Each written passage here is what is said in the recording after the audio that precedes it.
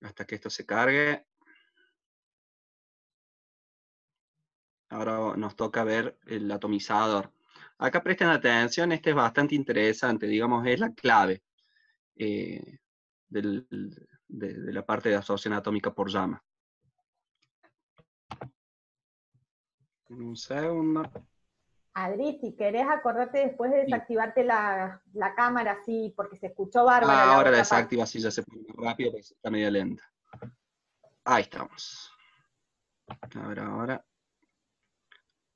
Si puedo acomodar la pantalla.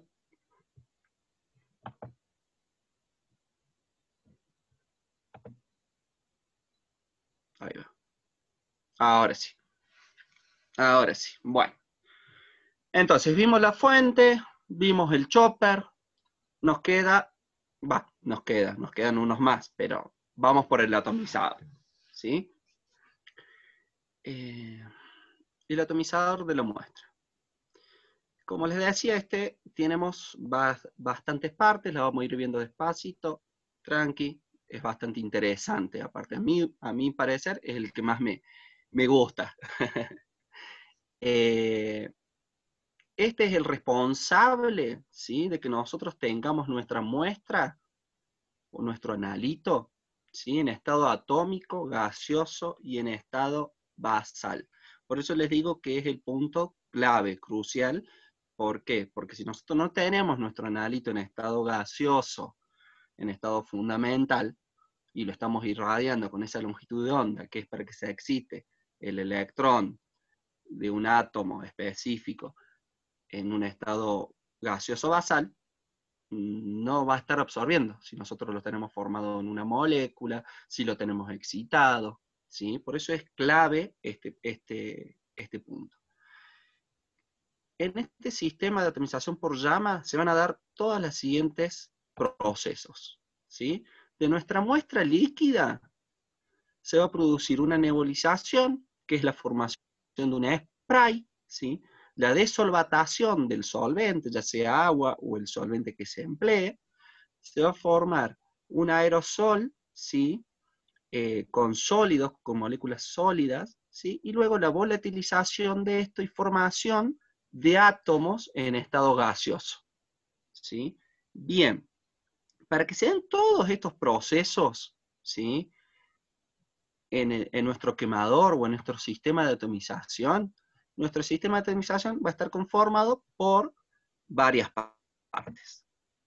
La primera es el nebulizador. Si ustedes habían visto ahí en el videito o en las imágenes que les mostré, tenemos un capítulo, acá prácticamente casi no se lo ve, ya vamos a pasar a la otra, ¿sí? Aquí, el nebulizador, donde por aquí va a estar succionando nuestra muestra líquida la succiona por un efecto Venturi, al que le interese, después lo googlea, lo busca, lo ve, que es un proceso muy simple, que es por la corriente y por el descenso de presión que generan el flujo de los gases que van a hacer la combustión en la llama, generan la succión del líquido, ¿sí?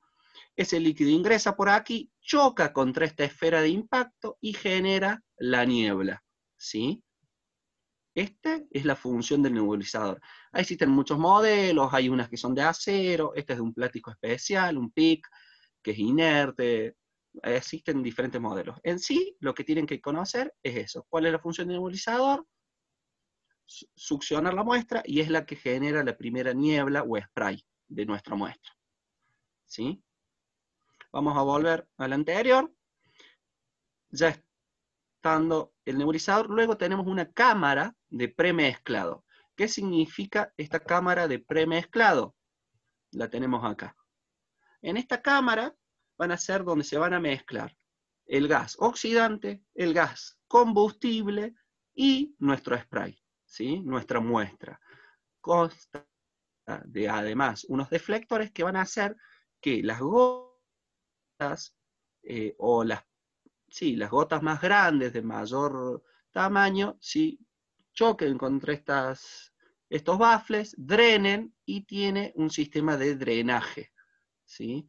No todo lo que está aspirando, se aspira de muestra, es la que llega a la llama. Parte de ella sale en forma de residuo. ¿sí? El objetivo de esto es mezclar las tres cosas. ¿sí? Podemos ver entonces aquí como una especie de resumen de nuestra muestra eh, líquida, ¿sí? la nebulizamos, generamos ese spray, que hay moléculas sólidas de nuestro analito, y las mezclamos. Obtenemos un mix de los tres, de el, oxidante, el combustible y nuestra muestra en forma de spray. Luego, ¿qué sigue? Vuelvo atrás, disculpen. El quemador propiamente dicho. Una vez que tenemos esa mezcla, llega al quemador. Vamos a ver. Ahora, ¿qué procesos se van a dar en esa llama? Esto es muy importante. Los procesos, el principal eh, proceso o el principal objetivo de esta llama es llegar a atomizar nuestra muestra, es llegar al estado atómico. Entonces, se van a generar dos procesos en la llama. Uno es la desolvatación, que va a ser la eliminación del agua o los disolventes, ¿sí? formando estas partículas de sal, y la volatilización ¿sí? y transformación de esas partículas ya en un estado, eh, de un, pasarlas de un estado sólido a un estado gaseoso fundidas. ¿sí?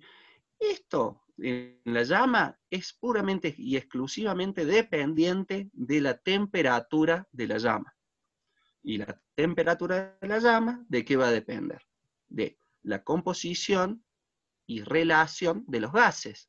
Es decir, de qué gas oxidante voy a estar usando para esta llama y qué combustible voy a estar usando para esta llama. En la siguiente tablita podemos ver diferentes combustibles que se emplean en estas técnicas, en estos equipos de absorción atómica, gas natural, hidrógeno, acetileno serían los más usados. La verdad que este último yo no lo he escuchado y acá no he escuchado que lo estén usando mucho en Argentina. No sé si lo producen. Eh, como oxidante tenemos aire, oxígeno, eh, dióxido, eh, óxido nitroso, ¿sí? Pueden ver que según la mezcla que se use de un combustible y oxidante, es la temperatura que llega la llama, que se puede trabajar. ¿sí? Fíjense las diferencias. Gas natural aire entre 1700 y 1900 grados centígrados, acetileno, oxígeno es la más alta, 3060, eh, 3135 grados centígrados. Obviamente que esta temperatura o esta mezcla de gases a emplear, ¿sí? Eh, depende también de qué analito queremos determinar nosotros. Hay técnicas desarrolladas, hay investigaciones que te dicen, o métodos que ya vienen en equipos, que te dicen, bueno, para determinar sodio se usa hidrógeno, aire y en qué relación.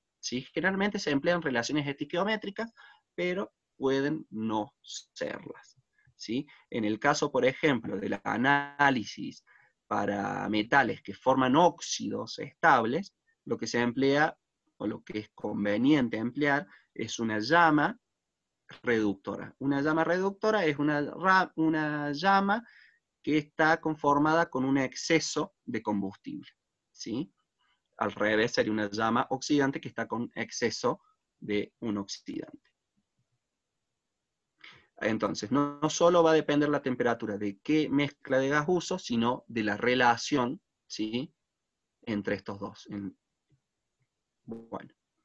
Algo muy importante también es la configuración de esta llama, la estructura de una llama. Tenemos, podemos diferenciar tres zonas principales. ¿sí? una zona de combustión primaria, ¿sí? que es la de menor temperatura, no está estable termodinámicamente, es donde se va a producir la evaporación del solvente. Luego sigue una región interconal, que es la que nos interesa a nosotros para este análisis por absorción de llama, es donde se va a producir la atomización, ¿sí? Y también la excitación, porque va a ser donde vamos a estar irradiando con nuestra fuente y con esa longitud de onda específica. Luego sigue, sigue otra zona que sería todo el, perímetro exterior, donde se van a producir, es una zona de combustión secundaria y es un proceso de oxidación. ¿sí?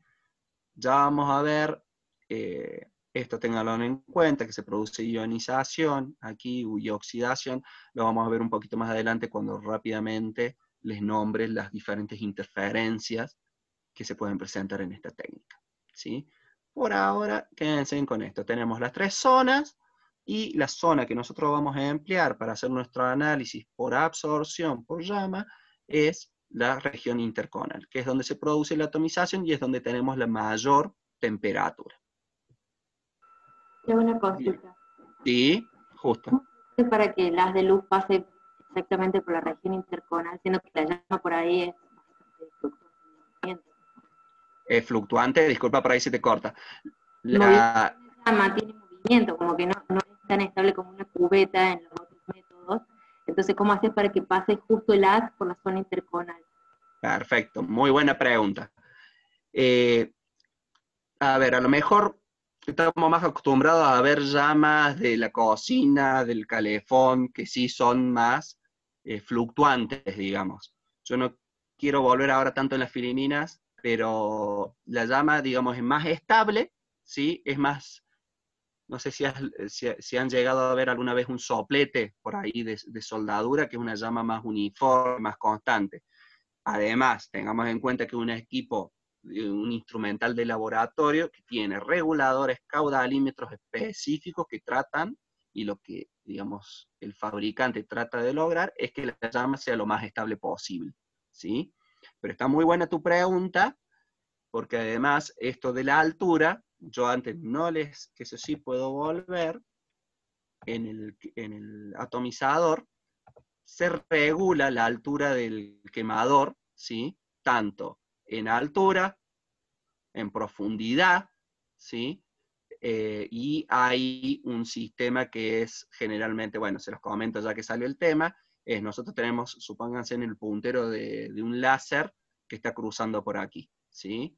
Viene de nuestra fuente y llega a nuestro detector. Lo que generalmente se hace es subir, se pone a medir el equipo, se está midiendo la absorbencia, entonces vamos a estar digamos, vamos a tener 100% de transmitancia porque no voy a tener nada acá en, el medio que me esté absorbiendo, con esto apagado, ¿no?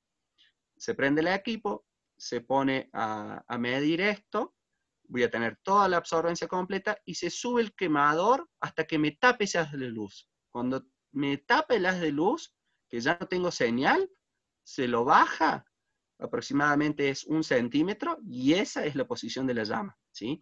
Evidentemente, esto es eh, práctica del operario, eh, la regulación del equipo, la calidad de los gases.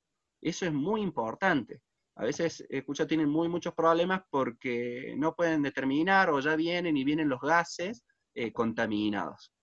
¿sí? Son todas, bueno, cuestiones que hay que tener en cuenta, pero la llama en sí, digamos, si los están regulador del equipo anda bien, no fluctúa la presión para nada, se tiene una llama bastante uniforme. No sé si te respondo, ¿querés algo? Eh, ¿Sí? Sí, sí, gracias. No, no, por favor, lo que sea. otra cosita. Sí, eh, nebulización. ¿Cuál de los dos gases? Pues aire, ¿no? ¿Cómo, cómo? Disculpa. En la nebulización, el gas entra ¿Es alguno de los dos que nombraste ahora o es aire común? En la nebulización, nebulización es de la muestra líquida. ¿sí? La nebulización es la formación del spray de nuestra muestra líquida. Pero nombraste, Luego, nombraste que entraba un gas, un aire. Entran los dos gases. Entran dos gases. Se te corta bastante. Entran los dos gases, entra el, eh, el oxidante y el combustible. Siempre tenemos la mezcla de los dos. No sé si esa es la pregunta. Sí, sí, porque ahí me escuchas mejor. ¿Se sí. escucha mejor? Sí, ahí, se escucha mejor. Habías nombrado que en el, en el Venturi entraban como por arrastre de un gas y me surgió la duda si era el de combustión o el oxidante en, en el principio cuando se Ah, no, discúlpame. Entonces, capaz que me expresé mal yo, capaz que me expresé mal, muy probable, entra, es por, eh, eh, están constantemente ingres, va constantemente. Cuando se prende la llama, cuando se va a prender el equipo, o la llama específicamente, se habilitan los dos gases simultáneamente. Sí puede ser, que esto ya es hilando más fino también, pero ya que sale el tema, es que a veces al, prender el equipo se hace con un solo gas o con mayoritariamente un gas y luego se llega a la configuración deseada de análisis. Se puede variar el porcentaje, ¿sí? Pero, digamos, lo que están generando el efecto Venturi son el ingreso de los dos gases. Los dos gases permanentemente están entrando, si la llama está prendida, los dos gases permanentemente están entrando a, la parte del nebulizador y están haciendo el efecto Venturi, que es la succión. Bien, gracias. No, por nada. Seguimos entonces. Antes de cambiar al más, porque ahora nos tocaría... Uy, me pasé. Nos tocaría que adelante el monocromador. Si estamos con el atomizador, eh, podemos pasar al monocromador. ¿Ninguna preguntita más? En el chat no hay preguntas. Bueno, sale. Sigo entonces con el monocromador y el detector que nos quedan. Quédense tranquilos, que son más cortitos. ya, estamos llegando. El monocromador. Eh, el monocromador en sí, el objetivo que tiene, lo vamos a hacer bien simple, es dispersar la luz policromática en las varias, en las diferentes longitudes de onda, ¿sí? y permiten aislar la longitud de onda específica que nosotros queremos que nuestro ojito, ¿sí? o nuestro detector vea. Nosotros nuestro detector, si vamos a analizar sodio, por ejemplo, le decimos, bueno, vamos a analizar en esta longitud onda, y el detector vamos a tratar que vea solamente eso. El monocromador lo que hace es eso, ¿sí? Es de esa, esa luz dispersada por un arreglo de diferentes espejos, que ahora lo vamos a ver en la, en la siguiente filimina, ¿sí? hace que por refractancia este espejo, el D, que ahí ven, tiene la flechita, tiene movilidad, ¿sí? Entonces, automáticamente cuando uno setea en el equipo, este se posiciona para dejar pasar por estos otros que se denominan split, que son ranuras eh, muy pequeñas que también el equipo las mueve y las hace variar de, de espesor, deja pasar al detector solamente la longitud de onda, ¿sí? Con un eh, respectivo ancho, ancho, de, eh, ancho de banda que le dicen, ¿sí? Es decir, digámoslo en criollo, entre un más y menos de esa longitud de onda, ¿sí? Por eso siempre un poco de interferencia puede existir. Ahora ya cuando veamos interferencia van a, van a comprender eso. Eh, pero básicamente lo que es el monocromador es eso, nos permite, digamos, purificar estas longitudes de onda y, que al detector nos llegue la que nosotros queremos determinar. ¿sí? Si bien, a ver, porque a lo mejor me adelanto alguna pregunta, si bien nuestra lámpara va a estar tratando de emitir una longitud de onda específica, ¿sí? como veíamos, si usamos multielementos va a, estar va a estar emitiendo también de los otros elementos, y además de eso tenemos la llama que va a estar emitiendo otras longitudes de onda, entonces por eso necesitamos el monocromador. Bien. ¿Alguna consultita del monocromador? ¿No? Bueno, paso al detector rápidamente, que es cortito, simplemente que sepan que existen diferentes tipos de detectores, ¿sí? Eh, más o menos tenemos eh, la celda fotovoltaica, arreglo de fotodiodos, el, el, tubo fotomultiplicador, que son los mismos capas que han estado viendo en la espectroscopía por UV, ¿sí? y detector de estados sólidos serían los más eh, comunes y usados. Y este detector, por ejemplo, es uno patentado, el detector de estado sólido, también por una de las firmas, ¿sí? Y seguramente si esto lo vemos de acá a cinco años, a lo mejor tenemos otro tipo de detector, disculpen toque sin querer.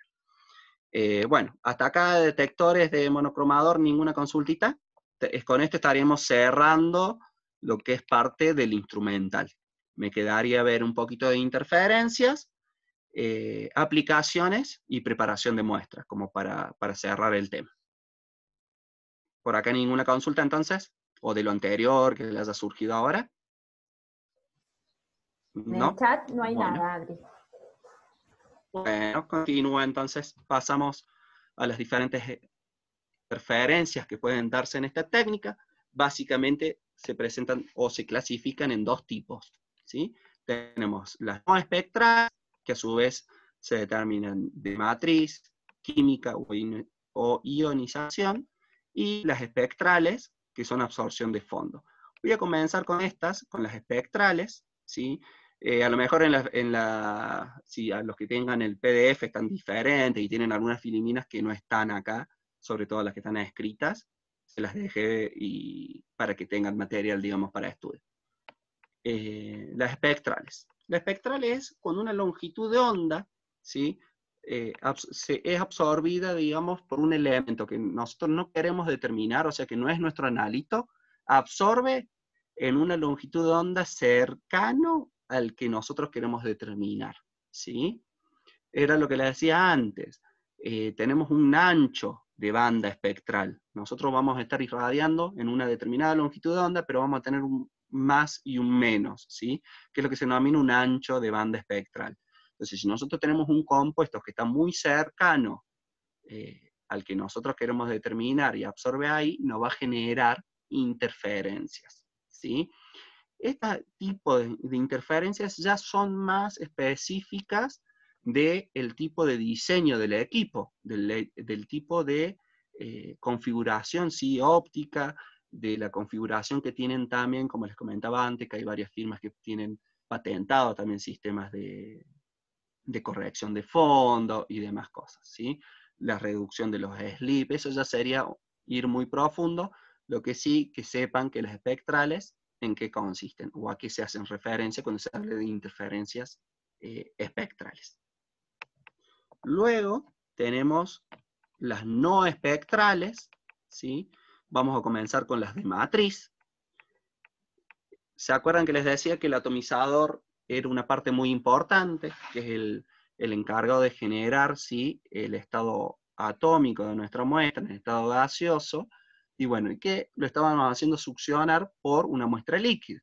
¿Qué pasa si nosotros estamos analizando diferentes muestras y tenemos diferentes densidades? Este proceso de succión va a ser diferente una muestra, si analizamos una muestra de un río, a una muestra aceitosa o una muestra de un, desecho industrial. ¿sí? Si bien las dos son líquidas, tenemos diferentes densidades, diferentes viscosidades, entonces el sistema de atomización va a ser diferente. La cantidad de muestra que va a estar llegando de uno u otro a nuestra llama va a ser diferente, entonces no va a ser reproducible. ¿sí? Lo que se hace es igualar la densidad. Entonces, ¿se acuerdan que habíamos visto la ley de Vira ahí? Habíamos visto la gráfica de absorbancia, concentración que le íbamos a hacer a esa gráfica con soluciones patrones. Bueno, lo que se busca, o soluciones de concentración conocida. Lo que se busca es tratar de hacer esas soluciones de concentración conocida en una matriz, ¿sí? Disculpen por ahí si no entienden lo que es el concepto de matriz. Matriz es donde va a estar en el medio que está nuestro analito, ¿sí? Eh, por eso les decía, si nosotros tenemos, vamos a terminar calcio en agua mineral, es una cosa, es una matriz, digamos, limpia, nada que ver, a una matriz que, digamos, calcio en agua, en el frente industrial. Son dos matrices totalmente diferentes. Entonces, en ese caso, es igualar las densidades con los patrones o las soluciones que nosotros hagamos la curva de calibrado para tener el mismo proceso de atomización. Si no, vamos a tener valores totalmente incongruentes. Ese sería el caso de no espectral matriz. En el caso de las químicas, les hice un comentario también en el caso de la llama, ¿sí? O también ya lo vamos a ver más adelante en el caso de eh, la preparación de las muestras. ¿Qué pasa? Recordemos, nosotros vamos a estar irradiando una longitud de onda específica para que nuestro analito en estado atómico gaseoso absorbe. Si nuestro elemento no está en estado atómico gaseoso y está formando un compuesto, no va a absorber. ¿sí? Entonces, vamos a tener una lectura de concentración menor que la que realmente tenemos. Esa sería una interferencia química. ¿Sí? Cuando nuestra llama no llega ¿sí? a descomponer este compuesto que está conforma, que, que donde está involucrado nuestro analito, y, que, queda en estado molecular o queda, ¿sí? no está en estado atómico. Entonces no absorbe. ¿Cuál es la solución para esto? Bueno, se suele emplear mayor temperatura Hay que tener cuidado también, que era lo que le decía, ya vamos a ver en preparación de muestra, cuando se prepara la muestra, no incorporar ninguna especie que forme este compuesto estable con nuestro analito, que luego en la llama no lo podamos disociar. O también se emplean agentes liberadores, ¿sí? que son que van a reaccionar con este, eh, con este otro compuesto que genera un complejo o un elemento estable con nuestro analito. Vamos a la última y después ya si tiene alguna pregunta, la sacamos. La última de no espectrales es de ionización. ¿sí? A ver, recordemos, en la llama, nosotros qué buscábamos, ¿cuál es el objetivo principal? Atomizar y tener, de nuevo, vamos, sigo machacando, el, eh, nuestro analito en estado gaseoso, atómico, fundamental. ¿Qué pasa si nosotros tenemos una llama muy fuerte que además de atomizarlo, la misma llama le da la energía suficiente a nuestro analito para excitarlo? ¿Sí? nos va a absorber la parte de la longitud de onda, de la intensidad que nosotros estamos irradiando con la lámpara? No, porque ya está excitado. ¿Sí? Entonces, de vuelta, tenemos el mismo caso antes que con el químico. Nuestra lectura, nuestro equipo nos va a dar un nivel de concentración menor que el que realmente tenemos. ¿Sí? Esto lo que se puede hacer también, una de las formas, es agregar en nuestras muestras metales alcalinos, por ejemplo, que son de fácil eh, ionización. Entonces esta parte le, eh, le quitamos digamos, energía a la llama ionizando estos elementos que nosotros no vamos a medir. Y con eso logramos solamente atomizar nuestro elemento y no además excitarlo. O bueno, bajar la temperatura de la llama, ya sería eh, hay que ir viendo, ¿sí? No hay siempre una sola salida. Perfecto. Esto me da, me da pie, ¿sí? Para comentarles también que si bien venimos, bien venimos hablando siempre de espectroscopia de absorción atómica, para que, existe, para que sepan que existe otra técnica, que es con el mismo equipo, que no hace falta cambiarle nada, pero sí se puede trabajar en forma de, ahí vamos, emisión atómica. Si ven, en la configuración de este equipo, no tenemos lámparas, ¿sí?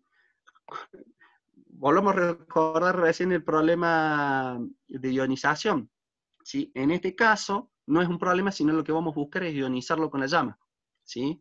En este caso, en el análisis por emisión atómica, lo que buscamos es, no, la llama no solamente va a buscar atomizar, sino vamos a buscar excitarlo con la misma llama, ¿sí? Y lo que vamos a estar midiendo va a ser el descenso, digamos, o eh, la caída de ese estado excitado al estado fundamental, que nos va a estar emitiendo la longitud de onda. Es decir, el proceso que nosotros hacíamos en la llama, no, en, en la fuente, para generar longitud de onda, acá, con nuestro elemento, y nosotros vamos a estar midiendo esa caída. Eh, vamos, al, vamos al cuadrito siguiente, que a lo mejor ahí nos queda más claro, y ahí vemos preguntas. En absorción, ¿sí? pasando en limpio, en la técnica de absorción nosotros medíamos la, radiación absorbida por los átomos en estado fundamental. Claro, nosotros en la llama los poníamos en estado gaseoso, en estado fundamental, lo irradiábamos con una longitud de onda y veíamos eh, cuánto me llegaba al detector. Esa diferencia era correspondiente a la concentración, ¿sí? En el caso de emisión, yo lo que voy a estar midiendo es la radiación emitida por los átomos excitados térmicamente, es decir, los voy a excitar en la llama y lo que voy a estar midiendo es cuántos átomos vuelven a su estado basal. ¿sí? Recuerden que en el estado excitado es termodinámicamente inestable, entonces van a, van a volver a su estado. Y ahí van a emitir una longitud de onda, una radiación. Y eso es lo que yo voy a medir. Entonces, en uno, mido una cosa y en otro, la otra. En el caso de absorción, voy a necesitar la fuente. En el caso de, de emisión, no necesito fuente. ¿sí? En el caso de absorción, la temperatura de la llama la ajusto solamente para atomizar y en el caso de la emisión, la temperatura la eh, regulo para atomizar y excitar al, elemento. ¿sí? En absorción, también, la, intensidad eh, absorbida es directamente proporcional al número de átomos en estado fundamental, y en cambio en emisión es directamente proporcional al número de átomos en estado excitado. ¿sí? Lo que en uno no quería que pase en absorción, que era excitarlo, en emisión sí lo voy a buscar. En emisión sí lo que quiero es que estén excitados. Bien, creo que acá pueden haber algunas dudas, así que eh, ¿quedó claro? ¿No? ¿Quieren que revisemos algo? ¿No? ¿Todo claro? Bueno, continúa entonces. Sí, Adri. Bueno, pasamos entonces eh, a comentarles. Les había comentado, apenas empezamos, la otra forma de atomizar que teníamos además de llama. Esto solamente a modo, bueno, también que conozcan, no vamos a entrar en, profundidad, ¿sí? En el equipo habíamos visto que si sacamos toda esta parte de atomización por llama, se puede emplear, hay muchos equipos y presentan muchas ventajas, es los atomizadores electrotérmicos, ¿sí? Básicamente existen dos tipos, uno que es este modelo, que es por contacto transversal, y este que es longitudinal. ¿sí? Básicamente son un tubo de grafito, ¿sí? que se va a conectar eh, a dos contactos eléctricos y se va a calentar este tubo de grafito termoeléctricamente. ¿sí? Se le hace circular por él una corriente eléctrica que va a hacer que se caliente. Eh, presentan un orificio ¿sí? por el cual se va a cargar la muestra. ¿sí? Se hacen circular dos gases, uno por el exterior, que es simplemente para que no se calcine nuestro eh, tubo de grafito con el oxígeno, ¿sí? con el aire. Entonces, es simplemente dado las elevadas temperaturas que llega, se pone un gas inerte, una atmósfera de gas inerte por el exterior para que no se calcine y nos dure más, más tiempo nuestro eh, tubo de grafito. Y otro gas inerte, vamos a ver la siguiente filimina, este es el tubo de grafito, ¿sí? Por aquí se va a cargar la muestra, estos son los contactos eléctricos, ¿sí? Y bueno, esto lo podemos, se le hace circular un gas inerte y además ingresa otro gas de purga por los extremos, ¿sí? Y salen por donde se carga la muestra. Estos son para que se arrastren, por ejemplo, cuando se hace evaporar el solvente, eh, se arrastran todos los gases. ¿sí? Además tiene ventaja de poder trabajar con una atmósfera inerte. Acá ven el paso de luz, acá estaría nuestra fuente, del lado, eh, bueno, estaría nuestra fuente y del otro lado el detector, ¿sí? Entonces, a diferencia de la llama, en este tubo de grafito se va a producir todo, ¿sí? Acá nosotros eh, evaporamos el solvente, eh, evaporamos o, destruimos la matriz y además atomizamos nuestra muestra, ¿sí? En vez de tener la llama, ahora vamos a tener nuestra muestra atomizada en, forma de átomos gaseosos en estado fundamental dentro de este tubo.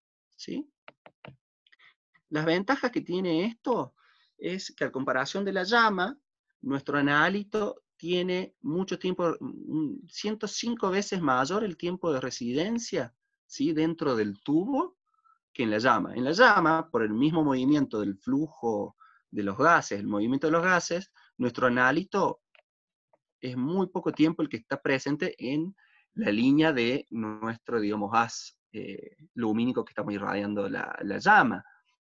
En cambio, en este tubo lo tenemos mucho más, tiempo, ¿sí? 105 veces mayor al tiempo que lo tenemos en la llama. Entonces esto nos va a permitir aumentar la sensibilidad y disminuir el volumen de muestra. Además, al poder colocar directamente la muestra en este tubo de grafito, va a ser independiente de propiedades físicas, como veíamos antes en el caso de la nebulización por llama, de viscosidad de la muestra, de tensiones superficiales y demás. El gas inerte nos va a permitir eh, al ser sustituido por, digamos, en la llama nosotros tenemos el oxígeno ambiente, ¿sí? Acá al poder emplear un gas inerte nos permite analizar óxidos metálicos, que por ahí son difíciles en la llama, porque justamente forman óxidos en la llama, y no lo tenemos en estado, entonces, en estado atómico fundamental, por lo tanto no van a absorber. En esta otra técnica nos permitiría. Eh, y bueno, permite niveles de detecciones más bajos. ¿sí? Además de eso, al controlar la temperatura, se pueden realizar rampas, ¿sí? Eh, rampas de temperatura, eh, se puede limpiar, luego elevar la temperatura para dejar limpio, digamos, listo para otra muestra, el tubo de grafito. Acá tenemos, por ejemplo, se hace una rampa primero para secado, una, una la atomización, el calentamiento, ¿sí? Tiene diferentes eh, ventajas. Nos quedan dos minutos. ¿Alguna duda de esto? ¿Alguna consulta? No sé si fue muy rápido. ¿Todo claro? Se entiende todo bien por el momento. Bueno, perfecto. Nos quedan dos minutos. Eh, me faltaría aplicaciones y brevemente unas preparaciones de muestra. Eh, les recomiendo que se queden las aplicaciones, están bastante interesantes y les va a terminar de cerrar el tema, digamos. ¿Sí? Sole, que... ¿querés que nos desconectemos y nos volvemos a conectar? Así no, se, nos corta. Así no se corta en el medio de las aplicaciones. Ahí nos Perfecto. Dale.